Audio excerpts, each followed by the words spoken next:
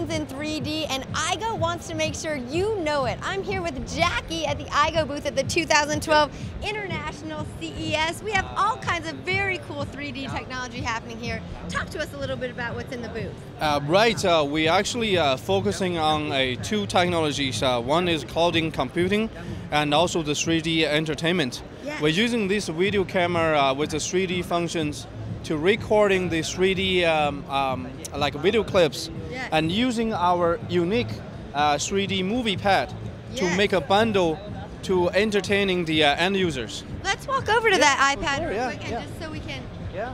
see it. It's it's very easy to adjust the angles uh, to see the uh, the 3D um, um, um, video clips Yes. like uh, movies, you know. and we were watching it earlier with Yeah. the movie on it, and it was complete 3D. A Yeah. very clear glassesless with Exactly. stereoscopic uh, 3D is a very big story here at the show. Exactly, exactly. Um, so with it, with this uh, uh, video camera, uh, we can we can shot uh, our uh, 3D uh, video clips by ourselves, yes. and then using this uh, uh, 3D movie pad to uh, replay it. Fantastic. Yeah. 3D, you just can't get away from it here at the 2012 International CES.